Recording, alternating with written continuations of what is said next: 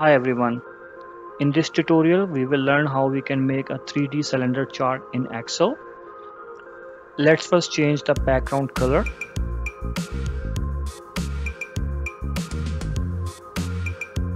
I'll select the cells and from here I will select the blue gray color. We can change the text to white and while the data is selected I'll go to insert and create a 3D column chart. From the plus button, we can remove the axis, chart title, grid lines, as well as the legends. Now select the columns, right click and format data series and from here select the cylinder option. Now click on the orange bars, go to fill and line and change the color to white and increase the transparency to 26.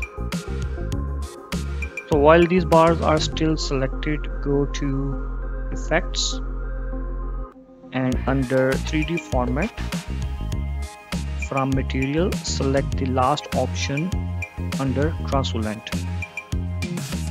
Now select the blue bars one by one and choose any color that you like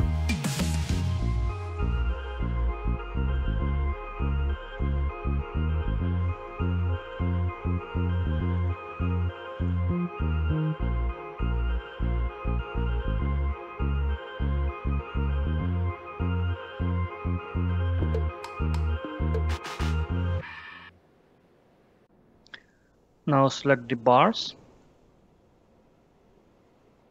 and reduce the gap width to 80 now select the chart.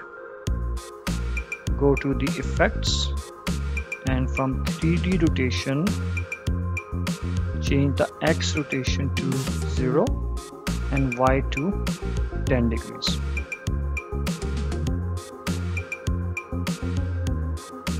While chart is selected, go to format and from shape fill, select no fill and from shape outline, select no outline.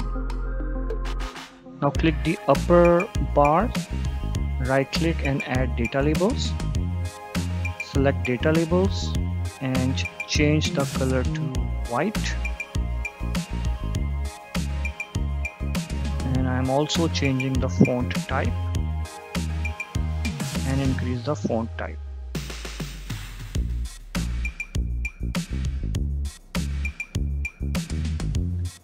And finally, we will insert some text boxes.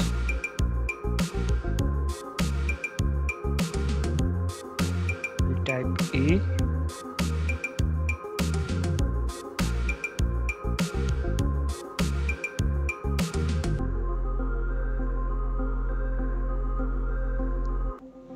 and while this is selected I'll go to shape format. Um, shape fill select no fill.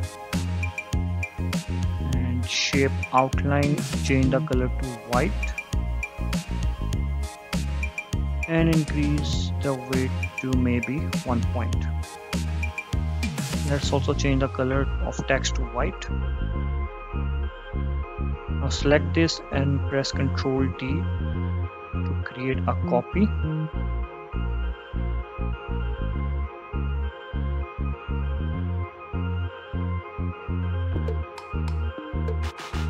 create two more copies and change the text. Now our chart is ready. I hope you like this video. If you want more of such tutorials keep following. Thank you